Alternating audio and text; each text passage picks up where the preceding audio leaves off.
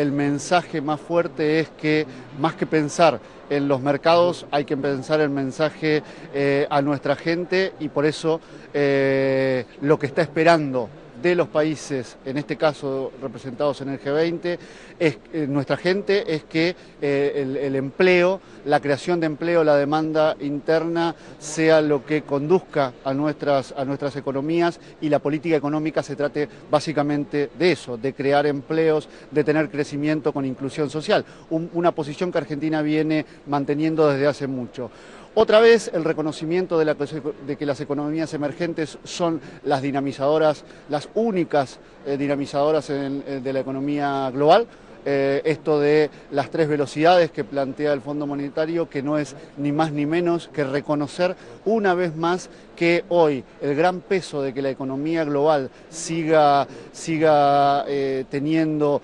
resultados es eh, somos una vez más las economías emergentes. Consolidamos en esta ocasión el tema de, la deuda, deudas soberanas, un planteo que Argentina había hecho en anteriores reuniones y que hoy podemos decir está bien alto en la agenda del, G20 y esperamos con mucha, eh, con mucha confianza que ese debate pueda llegar a eh, tener soluciones sobre situaciones como las que enfrenta Argentina con una reestructuración sumamente exitosa, pero que todavía tiene que lidiar con las consecuencias que los fondos buitre afincados en paraísos fiscales eh, ponen en, riesgo eh, este tipo de, reestructuraciones y en general eh, las reestructuraciones eh, soberanas en general. También se dio un paso en que en uno de los temas que más ha empujado a Argentina en los últimos tiempos, que tiene que ver con la inversión en infraestructura y que tiene que ver con hacer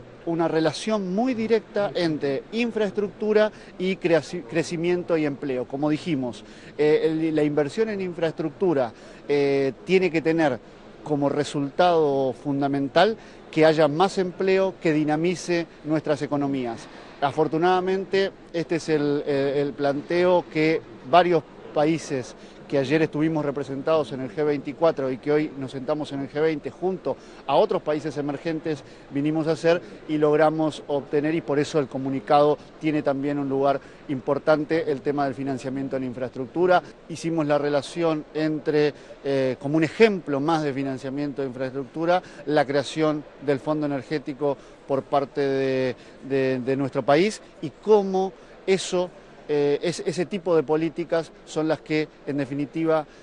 van a tender al crecimiento a través de la creación de empleo. Financiando infraestructura a largo plazo, se, se crean empleos y eso dinamiza nuestras economías. En definitiva, eh, con alguna muchas de las cosas que hemos venido sosteniendo, y no solamente desde el discurso, sino a través de los resultados concretos en nuestro país, en nuestra región,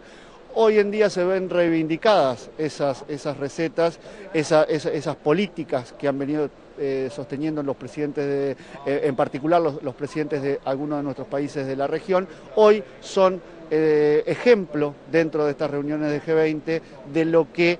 están Em, proponiendo para los próximos años. O sea, lo que ah, nos criticaban hace no mucho tiempo, hoy es ejemplo para y son recetas para salir de esta situación.